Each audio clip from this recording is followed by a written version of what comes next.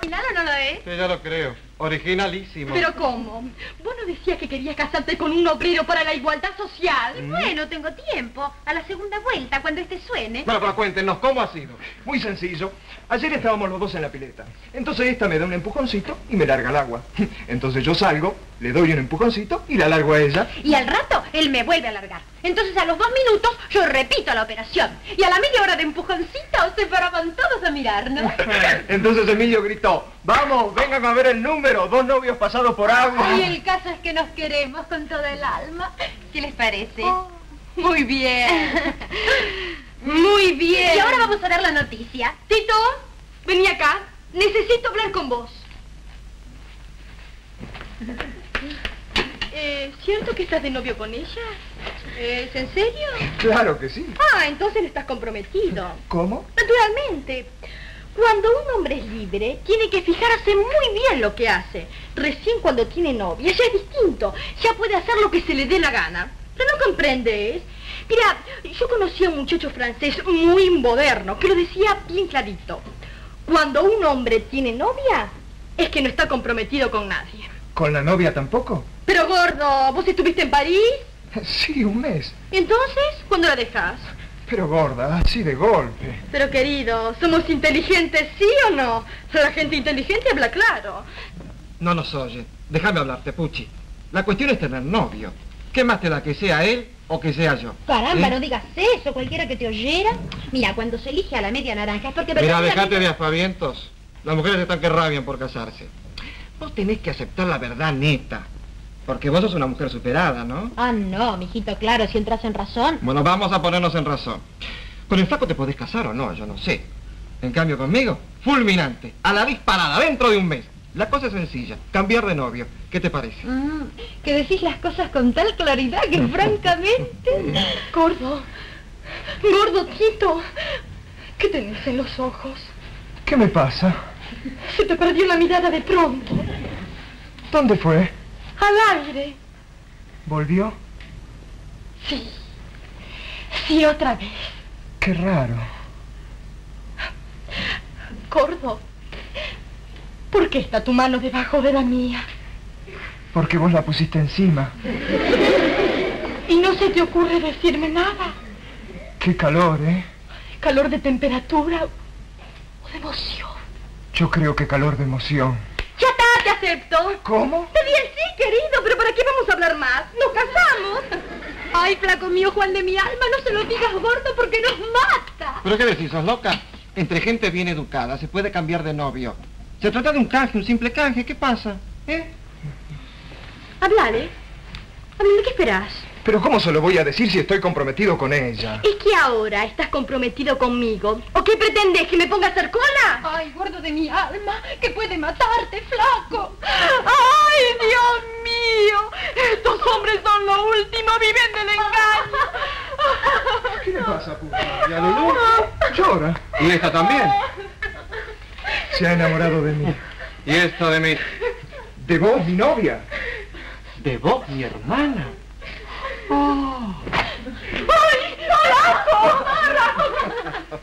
Primer tiempo, empatado.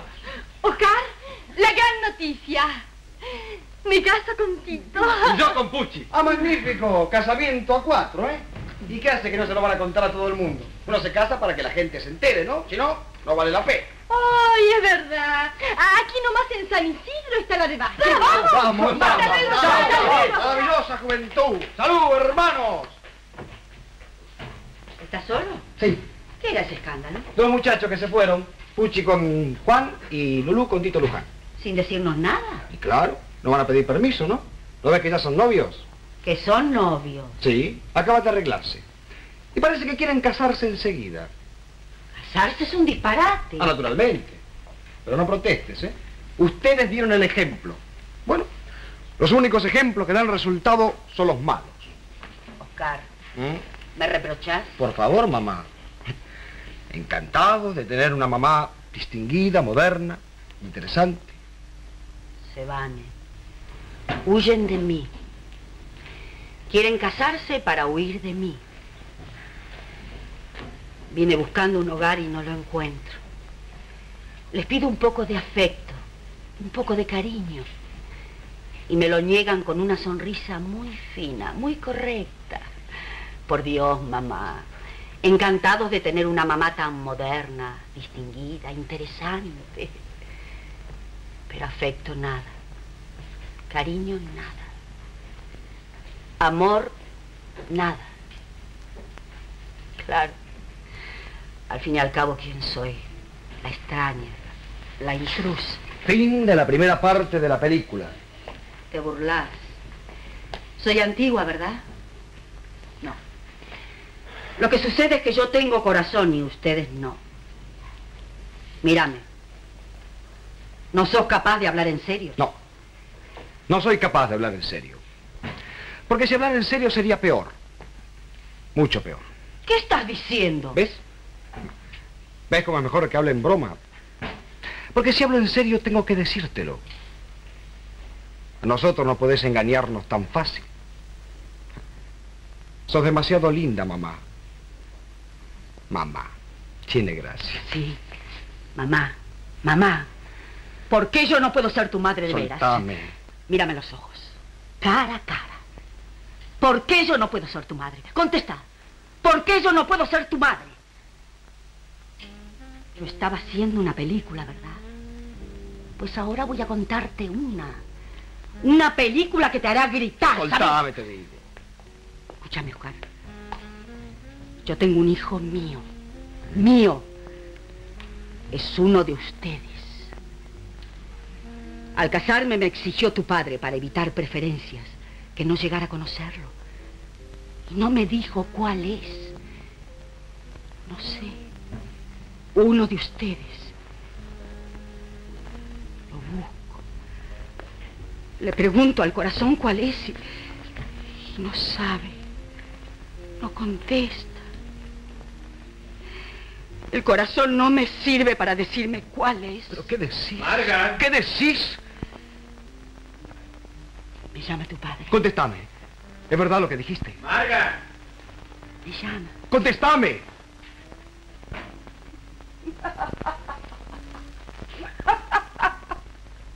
¿De qué te reís? De vos. Era una película, hombre. Una película, simplemente. Para que no pensaras mal de la mamita. La mamita te ha contado un cuento. Me engañaste.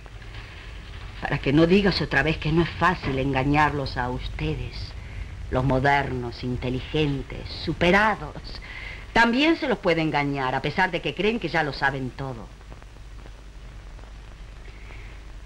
Lo siento mucho. Me llama tu padre.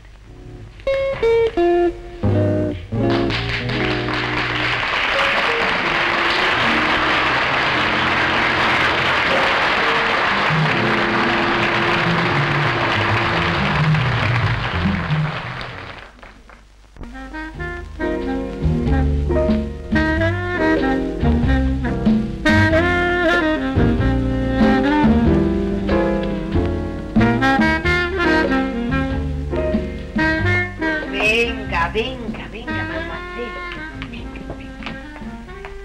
Quise hablar con usted aquí porque la verdad sospecho que usted me hace trampa. Madame. Sí, pero no es posible que durante estos últimos 15 días haya obtenido solamente dos mil pesos.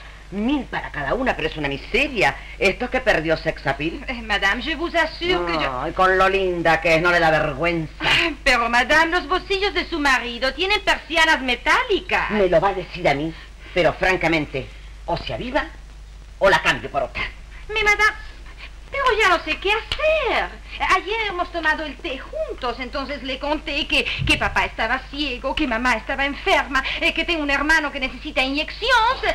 Bueno, se levantó y no quiso más té. Pero ¿a quién se le ocurre contar desgracias? Pero bueno, es- Para una enfermedad no sueltan nada, pero para una joyita enseguida se ablandan. Los hombres son así. Ah, pero entonces mañana sano a toda la familia. Hoy de golpe, ¿no? No sea bárbara. Sánenos de a poco. Pero dígame, ¿qué clase de vampireza es usted?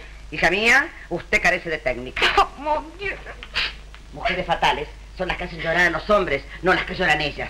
Si en lugar de estar ahí gimoteando, lo agarra usted a mi marido, lo araña todo, Al día siguiente, del susto, le da cinco mil pesos. Y son dos mil quinientos que necesito. Pero, madame, ¿a usted le parece correcto arañar a los hombres? Ay, llevo 28 años de casada. Lo que no pude hacer yo, que lo haga otra. Por lo menos me sacaba el gusto. Madame, madame, je ne peux pas. Je vous assure que je ne peux pas. Je ne comprends pas comment on a pu arriver à cette Pero, situation. pero hábleme en cristiano, por favor. Va bien. La verdad, ¿no? Sí. Lo que usted me propone me da asco. Estoy cansada. Adiós. ¡Ay! Me falló. Ahora me tengo que buscar otra asociada. ¡Qué barbaridad, Dios mío! ¡Ramona! ¿Qué? ¡Ramona! ¿Qué hay? Ramona. ¿Qué pasa? Ah, ¿estabas aquí? Sí, claro que estaba aquí. Bueno, escúchame, Ramona. ¿Qué hay? Ante todo, me alegra que estemos solos, ¿no? ¿Por qué? Tengo que pedirte perdón. Perdón, ¿por qué? Me asustas. Mira, ante todo, esa francesa, la profesora de francés, Sí. que no vuelva más. Ah, no volverá. Ahora te voy a traer una, pero de alemán. No, no, no, no, no, no, no, nada de idiomas. ¿Qué? Se acabaron los idiomas. Era lo que faltaba. Esto era lo último que podía esperar de ti. Después de tenerme sacrificada toda la vida, que ahora me cortes esta fuente de ingresos. ¿Pero qué dices? ¿Qué estás diciendo? Sí, que el dinero que yo tenía, lo tenía porque estaba en combinación con ella. Oh, ¡Ay, ay? Ramoncita! Ramoncita de mi vida. ¿Pero qué hay? Entonces el sinvergüenza que te ha pagado ese vestido soy yo. Claro. Y el tipo que te ha pagado la estola de bisón, ese tipo repugnante. Tú. ¡Ay! ¡Ay, Ramoncita! Ay, ay, ay, no te me acerques. No me llames Ramoncita, infame. ¿Y ahora qué procedimiento invento yo? Mira, merecerías tener un hijo para que te arruinase. Ahí está. Un hijo. Un hijo, sí. Bueno, eso sería lo único que abriría mi cartera. Con los billetes más grandes le haría barquitos de papel. ¿Qué has dicho? Un hijo. Un hijo, sí. Bueno, pero yo creo, Rafael, que todavía estamos a tiempo. No, no, no, Ramona, no, no, no. Ya llevamos 28 años de casado. Bueno, pero eso qué importa, yo he cambiado mucho. Ahora con el balneario y la natación yo estoy muy moderna, ¿eh? Vaya uno a saber. No, no me ilusiones, no me ilusiones. Ay, ya vas a ver, mira, yo por arruinarte soy capaz de todo. No, no, no me ilusiones, un hijo, un hijo. No me ilusiones, no me ilusiones. Ay, no me ilusiones, ya lo verás. Esta noche tengo el primer mareito, aunque para ello tenga que tomarme una botella de whisky. Está bien, está bien, está bien. Es la primera vez que encuentro a mis hijos frente a mí. No es frente a vos, papá. Éramos cuatro en la casa. Te casaste y en ninguno de nosotros encontraste ni la sombra de un reproche. Y ahora que somos nosotros los que nos queremos casar, ¿sos vos el que te opones? No, no, si yo no me opongo, cásense si quieren. Y que sean muy felices, tienen derecho. Pero no veo por qué tiene que ser así a, a las escapadas. Como si les molestara seguir viviendo aquí. Comprendelo, Juan. Estos matrimonios así, improvisados, parece, no sé, que llevaran la intención de, de que quisieran huir de casa. Y eso no, ¿eh? Eso no porque todavía soy el jefe de la casa. El jefe. Sí, el jefe. ¿O qué creías? ¿Que el papá alegre, el cuarto muchacho, el que hacía que estudiaba, el que, el que se vestía mejor que ustedes, creías que ese era el padre? No, ¿eh? No, no, no, no, no. Aquello era un disfraz. Disfraz desesperado de hombre maduro, que tenía la vida vacía. Pero un día la vida se ilumina. Aparece de pronto una nueva causa, un nuevo objeto, y entonces se agarra ese disfraz y se lo tira a un rincón. Se acabó el muchacho de mentira y empieza el padre de verdad. ¿Me oís? Compañero, sí. Pero padre también, ¿eh? Por primera vez tengo que recordarte lo que soy el jefe de esta casa. Una vida vacía que de pronto se ilumina. Muy romántico. Naturalmente ese nuevo objeto de vivir es ella, claro. Claro que es ella, ¿eh?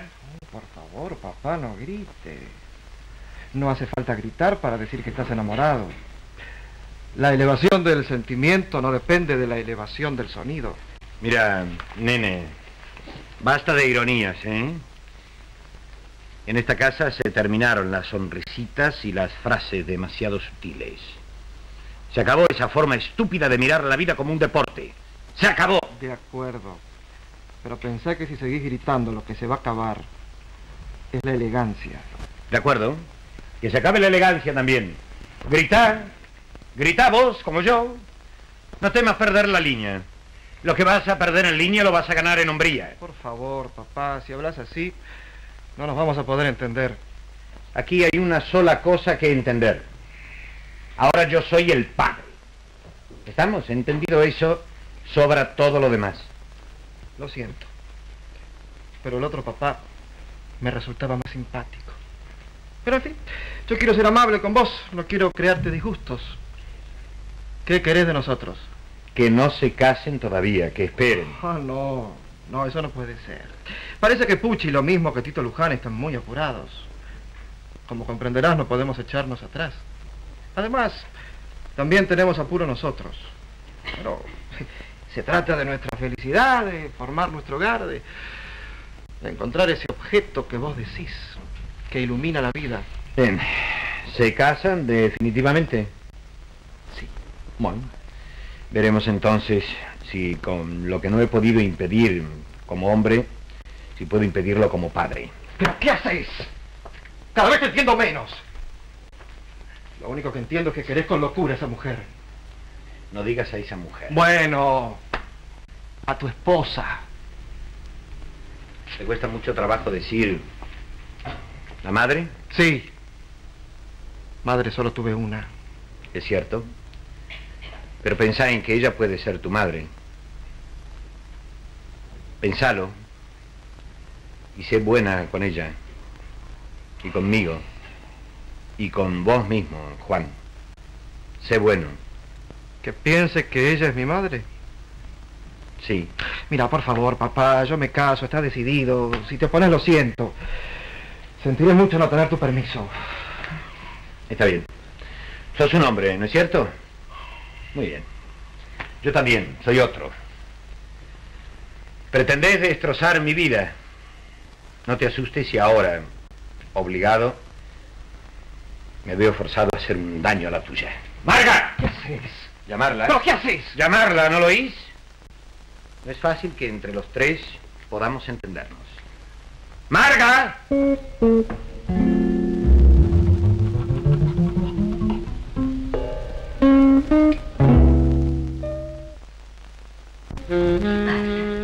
No Quiero sé. que conversemos los tres.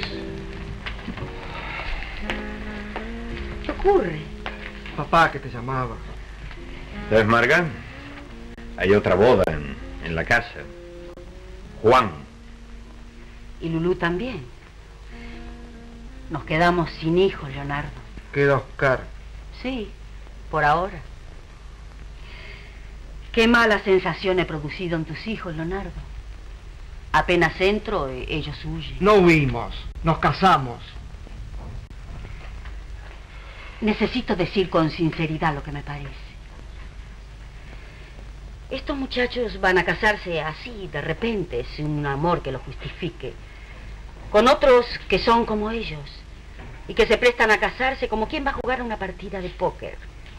Muy agradable, muy lindo, pero de una ligereza y de una inconsciencia que resultaría ridícula si no fuera sencillamente infantil. Puchi es una mujer, como mi hermana. Es que yo no quisiera para vos una mujer como tu hermana. Y Tito es un hombre como yo. Es que yo no quisiera para tu hermana un hombre como vos. ¿Algo más? Sí, más. Más. ¿Qué es un hogar para ustedes? Un coche seis cilindros que corre por las calles de Buenos Aires con tres muñecos. El marido, la mujer y entre ellos un perrito, último modelo también, que llevan los papás a la peluquería. ¿Eso es un hogar? No.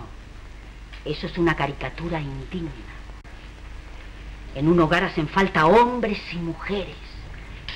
Hogares donde las caras y las almas estén juntas, tan juntas que entre ellas solo pueda caber la cara de un niño. Bueno, basta. No nos van a entender nunca. Díselo tú, Leonardo. Yo. ¿Y quién soy yo? Eres el padre. ¿O es que ser padre ya no es ser nada? ¿Pero quién es usted para ponerse enfrente de nosotros? Juan. Repito, ¿quién es usted? La madre. No, tu esposa. La madre, nuestra madre, la que nos dio el ser y la vida, murió. Mira, y no la recuerdes ahora, que tampoco la recordaste cuando entró esta mujer en esta casa. La madre no. La intrusa. ¿Y si yo te dijera que es tu madre? No lo repitas. Mi madre murió. Tu madre no ha muerto. Ahí la tienes. Tu madre no ha muerto. Yo me casé con ella para que viviera aquí junto a su hijo. Vos. Por eso no es la intrusa. Es la madre.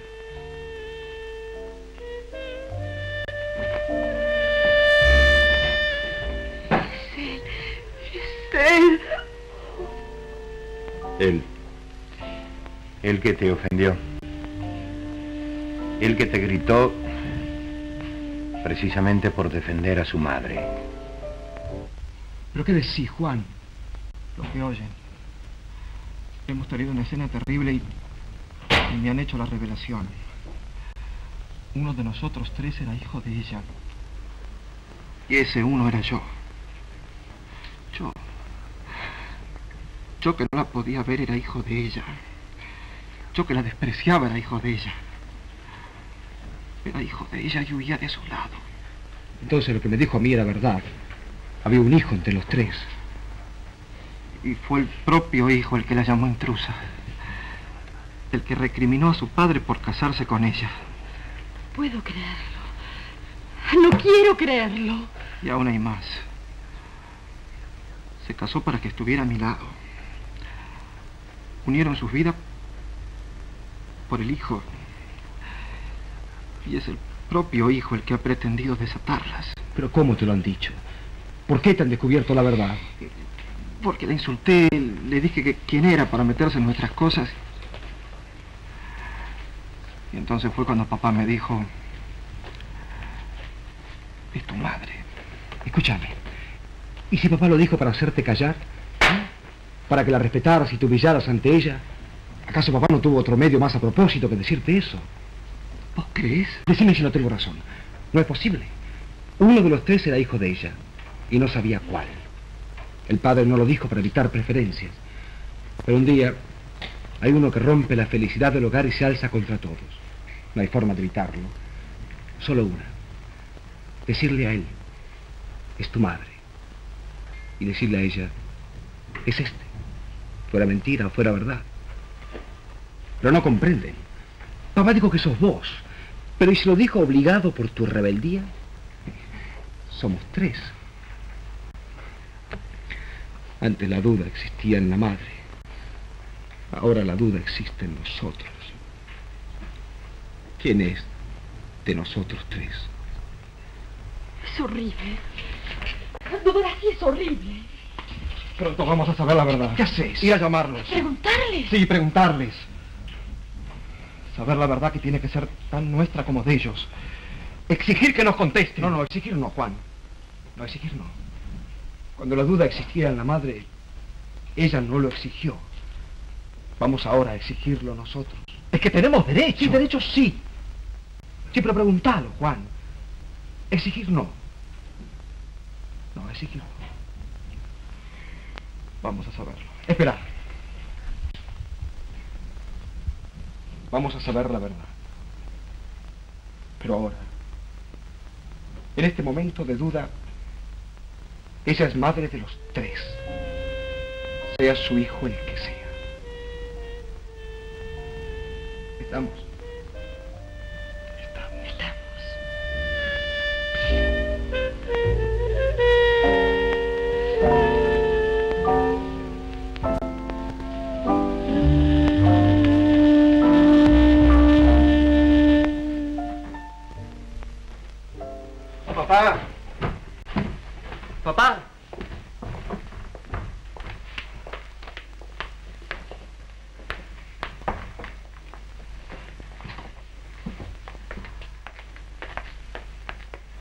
Quieren? Hablarte.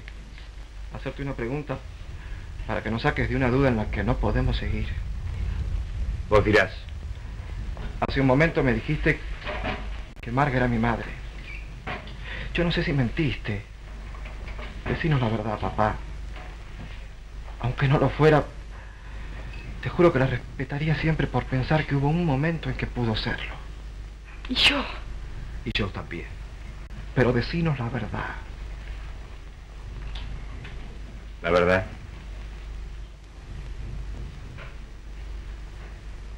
Sopos. Ahora, si no creen mi palabra, pregúntenle a Marga. Ella les dirá la verdad. ¿Cuál? ¿Cuál? ¿Cuál? Contéstales, Marga. Diles la verdad.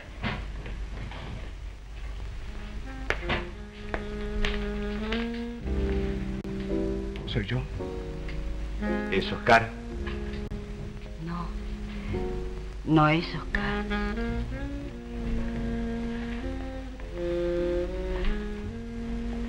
¿Soy yo? No es Lulú.